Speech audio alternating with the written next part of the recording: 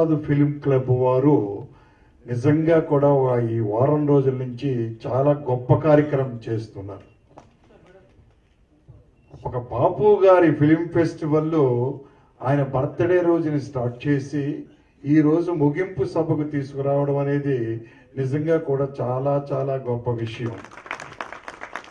అలాగే మా అందరికంటే కూడా ఈరోజు థియేటర్లో ఉన్న బాపు గారి అభిమానులందరికీ కూడా అభినందనలు నిజంగా కూడా. ఇందాక అక్కడ విజయ రామారావు గారిని చూశాను నేను ఎక్స్ మినిస్టర్ మనకి. వారు రెగ్యులర్గా వస్తున్నారని నాకు పొద్దున్న ఎవరో చెప్పారు నాకండి. నేను ఉన్నాను సార్ విజయ రామారావు గారు. సో వారు కూడా వచ్చి బాబు గారి మీద అభిమానంతో చూస్తున్నారంటే దీనికంటే నిదర్శనం ఏముంది? బాబు గారు ఎంత గొప్పవారు అనే దానికి నిదర్శనం ఏముంది? నిజంగా కూడా.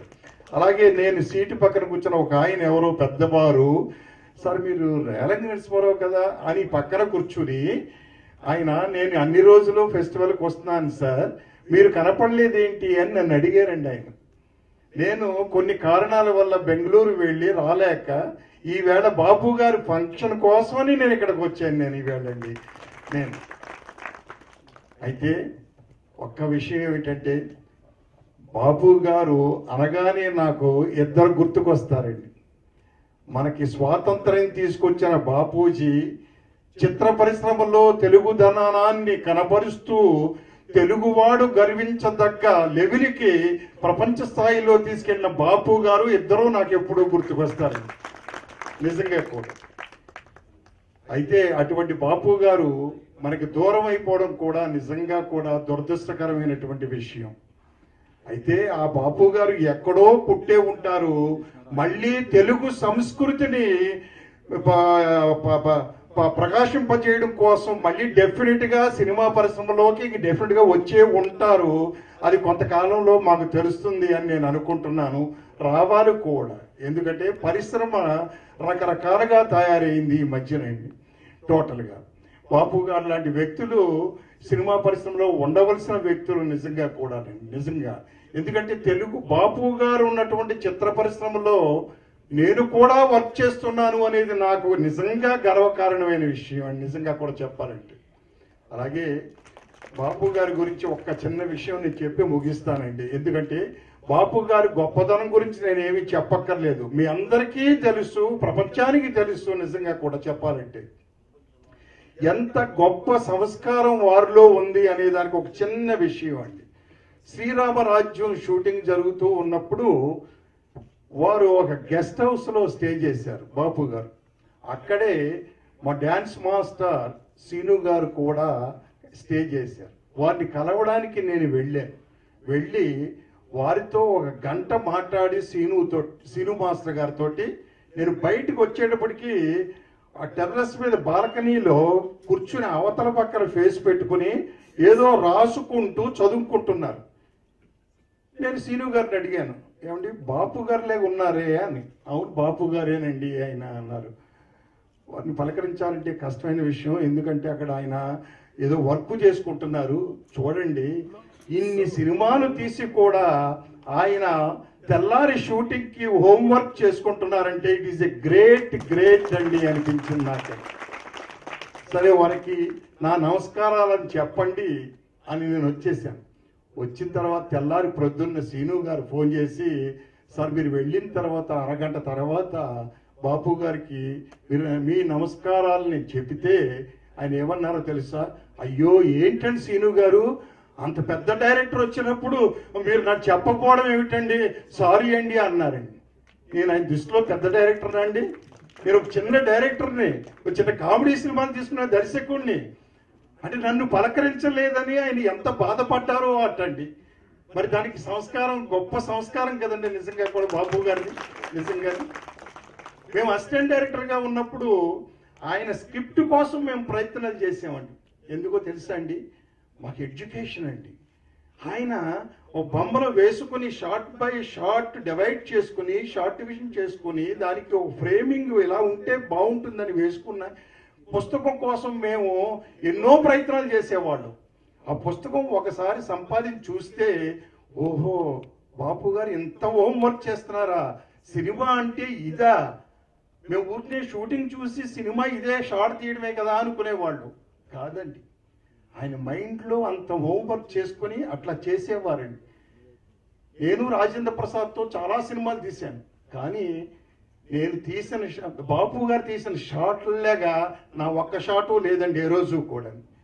రాజేంద్ర ప్రసాద్ని ఎంత డిఫరెంట్గా ఆయన ప్రజెంట్ చేశారో నేను చూసి అయ్యో మనం ఎందుకు ఇలా చేయలేకపోయామని సిగ్గుపడేవాడిని నేనండి. అలాగే దివ్యవాణి అలాగే నరేష్ని అలాగే ఆమనిని వీళ్ళందరూ నా దగ్గర పనిచేశారు. కానీ ఆయన తీసిన విధంగా ఏ రోజు నేను తీయలేకపోయాను. ఈ యువతరానికి బాపు గారు తెలియకపోవచ్చు. కానీ నేను ఒక చోట ఎక్కడో వాళ్ళ- ఒక లెటరు టైప్ చేయించుకోవడానికి వెళ్ళినప్పుడు ఓ డీటీపీ దగ్గర ఒక అతను అడుగుతున్నాడు. ఎవడి బాపు గారు పాండులో టైప్ చేయండి సార్ అని. అంటే బాపు గారు ఎవరో తెలియదు కానీ బాపు గారు పాండు అని తెలుసు. అది తెలిస్తే చాలండి. నాలాంటి వ్యక్తి ఎవరో? బాపు గారు ఎవరో చెప్పొచ్చు మేమండి. మీలాంటి వాళ్ళు ఎవరో చెప్పొచ్చు బాపు గారు ఎవరో అని. సో ఈవేళ చాలా సంతోషకరమైనటువంటి విషయం. ఇప్పటికే నేను ఎక్కువ మాట్లాడాను. తప్పులుంటే క్షమించాలి. Thank you very much for your నన్ను పార్టిసిపేట్ చేయడానికి అవకాశం కలగజేశారు నాకు. Thank you sir thank you including the Bapu గారి ఫెస్టివల్ ఎందుకో తెలియని ఒక ఉద్విగ్నత. అంటే బహుశా ఈ ఫెస్టివల్లో పార్టిసిపేట్ చేసి ఇది మాది అన్న ఫీలింగ్తో ఏం మాట్లాడాలో తెలియట్లేదు. సో ఈ ఫెస్టివల్ని ఒక అద్భుతంగా తయారయ్యేదానికి వచ్చిన సినీ ప్రముఖులు ముఖ్యంగా బాలకృష్ణ గారు చిరంజీవి గారు కృష్ణ గారు విజయనిర్మల్ గారు రాజేంద్ర ప్రసాద్ గారు తదితరులు మాకు ఎంతో స్ఫూర్తినిచ్చారు. రాబోయే రోజుల్లో ఇంకొన్ని ఫంక్షన్స్ చేసేదానికి మాకు స్ఫూర్తినిచ్చిన వాళ్ళందరికీ నా ధన్యవాదాలు ప్రత్యేక ధన్యవాదాలు తెలుపుకుంటూ బాలకృష్ణ గారికి ప్రముఖులందరికీ నా నమస్కారాలు మీ అందరికీ నా నమస్కారాలు. నేను మామూలుగా ఎవరినైనా కలుసుకున్నప్పుడు ఫస్ట్ మొదలు చెప్పేది బాపు గారి తమ్ముడిని అని చెప్తాను. మీకు బాపు గారి తమ్ముడు ఏంటండి? మా అందరి మా అందరి బాపు బాపు మా అందరి వాడినండి. అంటారు అందరూ అది మా అన్నయ్యలో నేర్చుకోవాల్సిన గొప్ప విషయాలు ఏంటంటే simplicity dedication perfectionism and sincerity. ఇవన్నీ మేము చిన్నప్పటి నుంచి వాడి దగ్గర నుంచి నేర్చుకున్నవే. అతను నాకు గురువే కాదు మెంటార్ అండ్ గైడ్ కూడా. అతని గురించి నేను చెప్పే అంత గొప్పవాడిని కాదు కానీ ఆయన్ని అందరూ ఆయన్ని రమణ గారు బాపు గారి స్నేహాన్ని గురించి ప్రతి ఒక్కరూ ఎప్పుడు తలుచుకుంటూ ఉండాలి. అలాగే ఉండాలని ప్రతి వాళ్ళు ప్రయత్నించాలి. ఇటువంటి సందర్భంలో ఫిల్మ్ క్లబ్ వాళ్ళు ఏర్పరిచిన చోట నా బొమ్మలు పెట్టే అదృష్టం కలిగించారు నాకు భగీరథి గారు మిగతా కుమార్ గారు అందరూను. ఇది నేను వాళ్ళకి కృతజ్ఞతలు చెప్పుకుంటున్నాను. ఈ ఆపర్చునిటీ ఇచ్చినందుకు అందరికీ ధన్యవాదాలు. బాపు గారి జయంతి సందర్భంగా ఆయన చలనచిత్రోత్సవ చిత్రో చిత్రోత్సవం హైదరాబాద్ ఫిలిం క్లబ్ వారు నిర్మించడం అన్నది నిజంగా ఆయన పట్ల వారికి ఉన్న అభిమానాన్ని గౌరవాన్ని ఆయన పట్ల నివాళులు అర్పిస్తూ వాడు చేపట్టిన ఈ బృహత్ కార్యక్రమానికి నా హృదయపూర్వక అభినందనలు తెలియజేసుకుంటున్నాను వాళ్ళందరికీ మిగతా అందరి కార్యవర్గ సభ్యులందరూ కూడా. ఎందుకంటే ఒక నానుడు ఉంది తెలుగు చూడాలంటే బాబు గారు అలాగే తెలుగు వినాలంటే వెంకటరమణ గారని మలపొడి అలాగే కొందరికి అప్పుడప్పుడు అనుమానం బాపు గారి ఇంటి పేరు ముల్లపొడి వెంకటరమణను లేకపోతే వెంకటరమణ గారి ఇంటి పేరు బాపు గారను. అటువంటి అవినాభావ సంబంధం అటువంటి వారిద్దరి కలయికలో ఎన్నో అద్భుతమైన కళాఖండాలు వాళ్ళు ఆవిష్కరించడం జరిగింది తెలుగు చలనచిత్ర పరిశ్రమలో. అటు హిందీలో కూడా సినిమాలు ఆయన దర్శకత్వం వహించడం జరిగింది కొన్ని హిందీ సినిమాలు కూడా.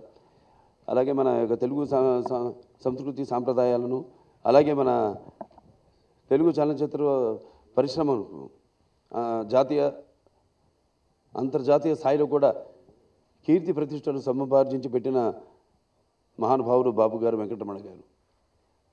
నేను ఎన్నో సినిమాలు చూడడం జరిగింది చిన్నప్పటి నుంచి ఎవరైనా సరే ఏ ఏ ఇంట్లో అయినా సరే బాబు గారి బొమ్మ లేనిది ఆ ఇల్లు ఉండదు అని చెప్పడం అతిశయోక్తి కాదు.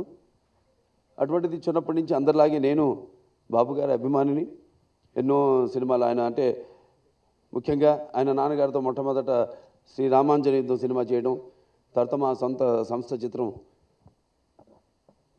శ్రీనాథ మహా శ్రీనాథ కవి సార్వభౌముడు సినిమాని దర్శకత్వం వహించడం. అలాగే అప్పుడు కొన్ని నా జ్ఞాపకాల పొరల్లోకి వెళ్తే అప్పుడు ఒక సినిమా నాకు తీయాలనిపించింది కృష్ణ భగవాన్ అని. అప్పుడు బాపు గారిని నేను కలవడం జరిగింది. అభిన నా అనివార్య కారణాల వల్ల ఆ చిత్రం తీయలే తీయలేకపోయాం. కానీ ఆ గడిపిన కొన్ని రోజులు బాపు గారితో ముల్లపూడి వెంకటరమణ గారితో ఆ స్క్రిప్ట్ ఇంకా ఉంది నా దగ్గర ఇంట్లో. ఆయన అంటే అందరికి తెలిసిందే ఆయన స్క్రిప్ట్ ఎలా ఉంటుందో. అందరికీ నటీనటులకి అయితేనేమి సా సా మిగతా సినిమాకి పనిచేసే సాంకేతిక వర్గానికి అయితేనేమి అందరూ కూడా ఎంత ఒకళ్ళు ఎలా నటించాలన్నది ఎంత దానికి మరి ఏర్పాట్లన్నీ ఒక సినిమా షూటింగ్కి చేయాల్సినవన్నీ ఎంత తేలికైందో ఎంత సులువైందో అన్నది నేను బాపు గారి ఆఖరి చిత్రం శ్రీరామరాజ్యం చే చేస్తున్నప్పుడు ఆ అనుభవాన్ని నేను అనుభవించడం జరిగింది. అంటే ఆ స్క్రిప్ట్ అలా ఉండేది. అలాగే నాన్నగారు కూడా కేవీ రెడ్డి గారి నుంచి కూడా డైలాగులు స్క్రిప్ట్లో వేరువేరు రంగుల స్కెచ్ పెన్నులతో వాళ్ళు రాయడం జరిగేది. విలన్కైతే ఎరుపు రంగులో అలాగే ఏదో హీరోకైతే ఆకుపచ్చ రంగులో అలా రాయడం. ఎంతో చక్కగా ఒక బౌండెడ్ స్క్రిప్ట్. మేము నటినటులకు మేము నటించడానికైతేనేమి లేకే లేకపోతే సాంకేతికులు సాంకేతిక నిపుణులకి వాళ్ళకి పూర్తిగా ఆ రోజు ఆయన మా మస్తిష్కంలో ఏముంది? ఏమి తీద్దాం అనుకుంటున్నారు అనేది ఎంతో తేలిగ్గా అంటే నేను అనేది ఎప్పుడు సమిష్టి కృషి ఆ సమిష్టి కృషిని మనం ఒక సరైన దారిలో తీసుకెళ్తే అన్నీ సులువుగా జరుగుతాయి అన్నది ఆ బాబు గారి ద్వారానే నేను శ్రీరామరాజ్యం షూటింగ్ అప్పుడు తెలుసుకోవడం జరిగింది. అది నా పూర్వజన్మ సుకృతంగా భావిస్తున్నాను బాబు గారి దర్శకత్వంలో. మరి ఈనాడు నేను ఈ శ్రీరామరాజ్యం చిత్రాన్ని మా నాన్నగారు చే చేసిన లవకుశ చిత్రాన్ని అంత ధైర్యంతో సా అంత అంత సాహసోపేతంగా నేను చేయడం జరిగిందంటే అది కేవలం బాపు గారు ములపూడి వెంకటరమణ గారి మీద నమ్మకంతో అని ఈ సభాముఖంగా తెలియజేసుకుంటున్నాను. కొన్ని కొన్ని సందర్భాలు ఆ శ్రీరామరాజ్యం షూటింగ్ అప్పుడు ఇలాగే మాట్లాడే సందర్భంలో చెప్పడం జరిగింది బాబు గారితో. అంటే నేను రోజు నాలుగింటికి లేస్తాను. అది నాన్నగారు స్ఫూర్తి. అలాగే మీకోసం గంట ముందు లేవాల్సి వస్తుందండి. అని ఏదో మాట పిచ్చాపాటి కూర్చొని మాట్లాడుతున్నప్పుడు అంటే ఆయనలో ఉన్న హ్యూమర్ ఎలాంటిదో దానికి ఒక చిన్న ఉదాహరణ. అంటే ఆయన అంటూ ఒక షార్ట్కి నేను అడిగాను ఆయన్ని. "ఆ, బాబు గారు ఇప్పుడు ఏం చేయమంటారండి? ఈ షార్ట్కి ఎటువంటి ఎటువంటి ఎక్స్ప్రెషన్ కావాలండి? మీకు అంటే స్క్రిప్ట్ చూడలేదా? అన్నారు ఆయన. అదైన తర్వాత సరేనండి. ఇంకా కొంచెం వివరంగా మీరు చెప్తే బాగుంటుందంటే "అసలు ఎందుకురా బాబు ఈ సినిమా చేస్తున్నాను? అంటూ అన్నట్టు ఒక ఎక్స్ప్రెషన్ బాబు అన్నాడు ఆయన. అంటే ఆయన అన్ని నవ్వుకో ఆయన మాత్రం సీరియస్గా వెళ్ళి అలా కూర్చున్నాడు ఆయన మానిటర్ ముందు. మేమంత గొల్లని ఒకసారి నవ్వడం జరిగింది. అంటే ఆయన ఒక తెలియని ఆ హ్యూమరు అలాగే ఆ షూటింగ్ అంతా కూడా సినిమా ఎంత మనం చూడడానికి ఎంత సీరియస్గా ఉంటుందో సినిమాని అంతా ఎంతో ఒక పిక్నిక్ వెళ్ళినట్టు. అంటే స్క్రిప్టు. ముందు దే- అన్నిటికంటే ముఖ్యమైనది స్క్రిప్ట్. స్క్రిప్ట్ పక్కడబందీగా ఉంటే నా దృష్టిలో షూటింగ్ అనేది ఒక ఆహ్లాదకరమైన వాతావరణంలో జరిగితేనే ఆ చిత్రం బాగా వస్తుంది అనేది నా నమ్మకం. అటువంటిది బాబు గారు శ్రీరామరాజ్య చిత్రం షూటింగ్ అంతా కూడా ఒక పిక్నిక్ లాగానే జరిగింది. ఏదో వ్యాహ్యాలకి వెళ్ళినట్టే ఏదో అంత అంతా చాలా సరదాగా సినిమాలు సినిమా ఎంత సీరియస్గా ఉన్నా అంత ఆయన అటువంటి వాతావరణాన్ని సృష్టించారు బాబు గారు. అదృష్టంగా భావిస్తున్నాను. అలాగే ఈ యొక్క బాపు గారి జయంతిని పురస్కరించుకొని ఎనభై ఒకటవ జయంతిని పురస్కరించుకొని హైదరాబాద్ ఫిలిం క్లబ్ వారు ఈ వారం రోజులుగా ఈ యొక్క బాపు గారి ఈ ఫిలిం ఫెస్టివల్ని నిర్వహించినందుకు వారందరికీ నా అభినందన తెలియజేసుకుంటూ ఈ ముగింపు రోజు ఈ సందర్భంగా నేను నటించిన చిత్రం శ్రీరామరాజ్యం చిత్రం. ఆ చిత్రంలో ఆ చిత్రంతో ఆయన ఆఖరి చిత్రం కావడం